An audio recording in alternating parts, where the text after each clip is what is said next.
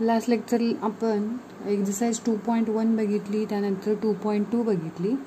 आता two point टूमध्ये काय होतं की इन्व्हर्स आपण फाइंड करत होतो. मग इन्व्हर्स फाइंड कुठल्या मेथडनं केला तर inverse of matrix by elementary transformation हां? मग आता ती ट्रान्सफॉर्मेशनची एक मेथड झाली आणि आता इथं जी आपल्याला नवीन जी मेथड बघायची आहे म्हणजे मी तेव्हा सांगितलेलं की दोन मेथड आहेत. एक आहे ती इलिमेंटरी ट्रान्सफॉर्मेशन आणि दुसरी कोणती आहे? Inverse of a square matrix by adjoint method हां? तर आता आज जे आपल्याला बघायचं आहे ती ही ॲडजॉईंट मेथड बघायची आहे की याच्यामध्ये नेमकं काय असणार आहे? तर याच्यामध्ये आता रो किंवा कॉलम कुठलाही ट्रान्सफर आपल्याला करावं लागत नाही आहे याच्यात काय असणार आहे बघा? ट्रान्सफॉर्मेशन न करता आपल्याला इनवर्स फाइंड करायचं असतो. हां? मग त्यासाठी ॲडजॉईंट मेथड बघण्या अगोदर आपल्याला दोन कन्सेप्ट बघाव्या लागतात.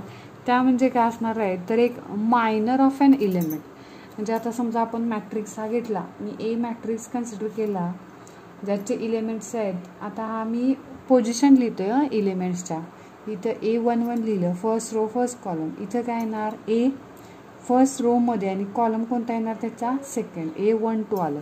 इथं काय येणार? ए टू वन आणि इथं काय येणार आहे? ए टू टू म्हणजे ते इलेमेंट ज्या रोमध्ये आहेत ज्या कॉलममध्ये आहेत त्यांच्या पोझिशन मी इथं लिहिलेले आहेत हां. मग आता आपल्याला याच्यावरून काय बघायचं आहे बघा. की आता समजा मी टू बाय टू मॅट्रिक्स घेतला आहे तसं आपण थ्री बाय थ्री पण घेऊ शकतोय. मग याच्यामध्ये मायनर म्हणजे काय आणि को फॅक्टर म्हणून एक आहे जे याच्यानंतर आपण बघणार आहे ते. मला वाटतं इलेवन्थमध्ये बहुतेक आपण हे बघितलेलं.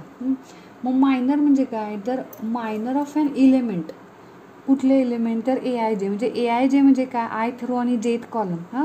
म्हणजे प्रत्येक रो आणि प्रत्येक नंबरची रो आणि कॉलम त्या त्या पोझिशनचे इलेमेंट्स प्रत्येक इलेमेंटचा आपल्याला मायनर आणि को फॅक्टर काढायचं असतं हां?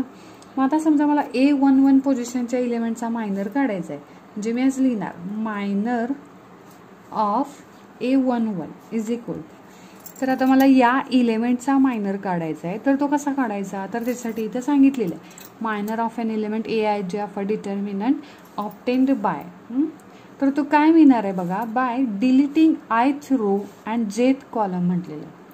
In which element A I J lies हां?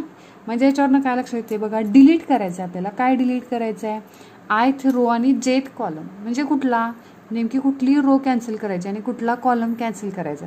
ते पुढे इथं सांगितले in which element A I J lies म्हणजे ज्या इलेमेंटचा आपण मायनर काढणार आहे त्या इलेमेंटची रो कॅन्सल करायची आणि त्याच इलेमेंटचा कॉलम कॅन्सल करायचा. आता मी इथं कोणता इलेमेंट लिहिला? Minor of A one one लिहिलं. म्हणजे हा पहिला इलेमेंट लिहिलेला आहे. तर आता हा पहिला इलिमेंट जर बघितला तर रो कोणती आहे त्याची? फर्स्ट रो आहे. त्याचा जर कॉलम बघितला तर कॉलम कोणता येतो त्याचा? सेकंड कॉलम येतो मग minor of A one one काय आला त्याचा? मग त्याची रो आणि कॉलम कॅन्सल केल्यावर जो राहिलेला इलेमेंट आहे तो म्हणजे काय झाला त्याचा? मायनर झाला. मग राहिलं किती इथं? ए टू टू झाला. मग इथं काहीतरी नंबर असू शकतो. हां. तसं आता हाच मॅट्रिक्स मी जरा परत लिहितो इथं. A one one A one two A two one आणि ए टू टू आता मला पुढचा एलिमेंट घ्यायचा आहे. त्याचा एलिमेंट मायनर फाइंड करतो आहे आपण. Minor of A two one is equal हां? आता ए टू वन म्हणजे एलिमेंट कुठे आहे अगोदर तो बघायचा. त्याची रो कोणती आहे? त्याचा कॉलम कोणता आहे? तो कॅन्सल करायचा. ही त्याची रो कॅन्सल होईल. हा त्याचा कॉलम कॅन्सल होईल. मग राहिलं काय? त्याची रो आणि कॉलम जेव्हा आपण डिलीट करतोय तेव्हा एकच एलिमेंट काहीतरी राहणार आहे. तो काय राहिला? ए वन टू राहील. तो म्हणजे काय असणार आहे? त्या इलेमेंटचा मायनर असेल. असं आपण प्रत्येक इलेमेंटचा मॅट्रिक्समध्ये जेवढे इलेमेंट्स असतील तेवढ्या प्रत्येक इलेमेंटचा मायनर आपण फाइंड करू शकतो. हां.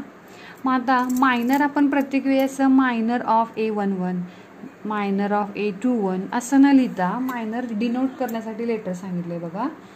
Minor of an element minor of an element A generally लिहितं तेच लिहायचं नंबर ऑफ रो आणि number of column A I J is is तो डिनोट कसा होणार आहे बघा? कॅपिटल एम आणि त्याच्या बेसला काय लिहायचं? आय आणि जे मायनर डिनोट कसा होईल? कॅपिटल एम बेसला आय जे हा झाला त्या इलेमेंटचा मायनर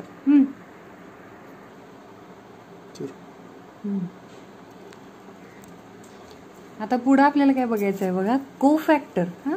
अगोदर आपण काय बघितला मायनर बघितला आता आपल्याला बघायचं आहे cofactor of an element A I J म्हणजे ज्या ज्या इलेमेंटच्या आपण मायनर फाईंड करतोय त्या प्रत्येक इलेमेंटचे आपल्याला को फॅक्टर पण फाईंड करता येतात हां? मग आता को फॅक्टर कसे येणार बघा? त्यासाठी काय सांगितले cofactor of an element A I J of a determinant is given by cofactor find करताना काय करावं लागेल? Minus one raise to I plus J आता आय आणि जे म्हणजे काय आलं?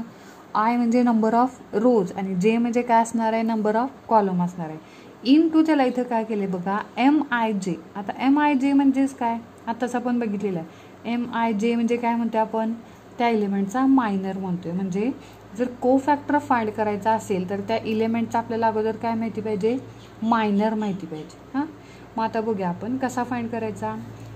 वेअर एम आय जे इथं म्हटलेलं आहे बघा. Where M I J is minor of the element A I J म्हणजे ज्या इलेमेंटचा को फॅक्टर फाईंड करायचा आहे त्याच इलेमेंटचा आपल्याला सॉरी हां त्या इलेमेंटचा मायनर माहिती पाहिजे अगोदर हां.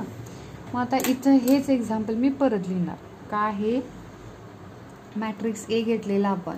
पोझिशन लिहिते मी A one one A one two A two one आणि ए टू टू असे चार एलिमेंट्स घेतले. मग याच्यामधला आपण एक मायनर फाइंड केलेला आहे. तो घेऊया आपण. कोणता आहे? Minor of A one one हां? Minor of element minor of element A one one is equal to तो कसा लिहिणार आपण? कॅपिटल एम आता डिनोट करते मी सिम्बॉलनं लिहिते. कॅपिटल एम आणि बेसला काय येणार? वन वन येणार. हां?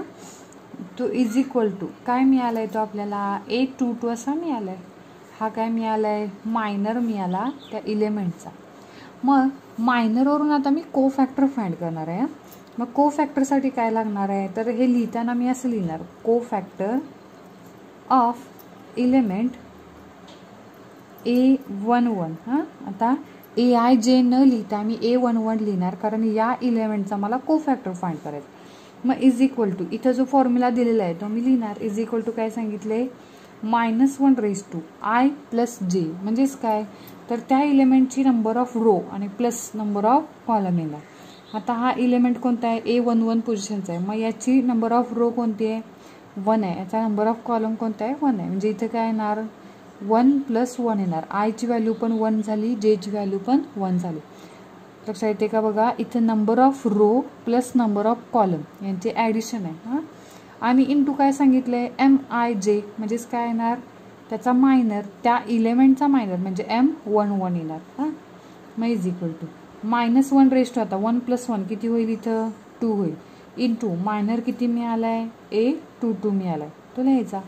मग minus one raised to two म्हणजे व्हॅल्यू किती येणार आहे? प्लस वन येणार. आणि इंटू किती आहे? ए टू टू तो इलेमेंट ॲज इट इज राहील हा मिळाला cofactor of A one one A one one इलेमेंटचा cofactor मिळाला आपल्याला. कसं येते का? फक्त आपल्याला काय माहिती पाहिजे? त्या इलेमेंटची रो आणि त्या इलेमेंटचा कॉलम माहिती पाहिजे. हां. मग आता को फॅक्टर डिनोट कसा होणार आहे बघा? मायनर डिनोट करतो आपण कॅपिटल एमनं तसं को फॅक्टर कसा डिनोट होणार आहे बघा?